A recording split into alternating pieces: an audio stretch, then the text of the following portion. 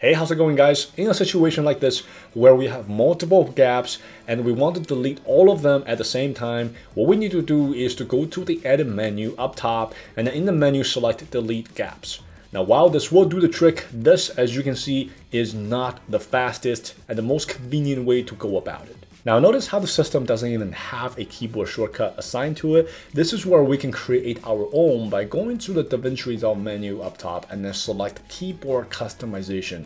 This is going to bring up a brand new window where we can uh, make this, this type of change. So now let's go to commands and then go to the edit menu and then you're going to see that this will bring up all the commands uh, currently under edit and you will see that of course the, next to delete gaps there is no uh, keyboard shortcut. So to create a keyboard shortcut for it, let's actually go up top, select the three dots, and then in this menu, select Save as New Preset. Now, DaVinci Resolve keyboard mapping right now is used as the default uh, mapping of default preset. So that's perfect. Let's go ahead and select that as the new preset. And then let's just give it a brand new name. And then let's hit the OK button so now if we were to click into the empty field next to the lead gaps, uh, this is going to reveal a box with red border where uh, we can assign a keyboard shortcut to it.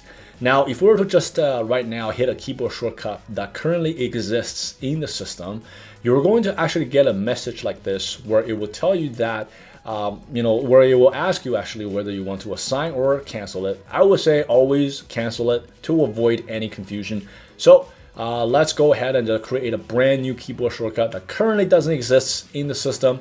Now let's go ahead and hit the save button and then let's go ahead and close this window. You will see that if we were to hit this keyboard shortcut, uh, this will very quickly execute basically what we did earlier, uh, way much faster um, and uh, it's very simple to do.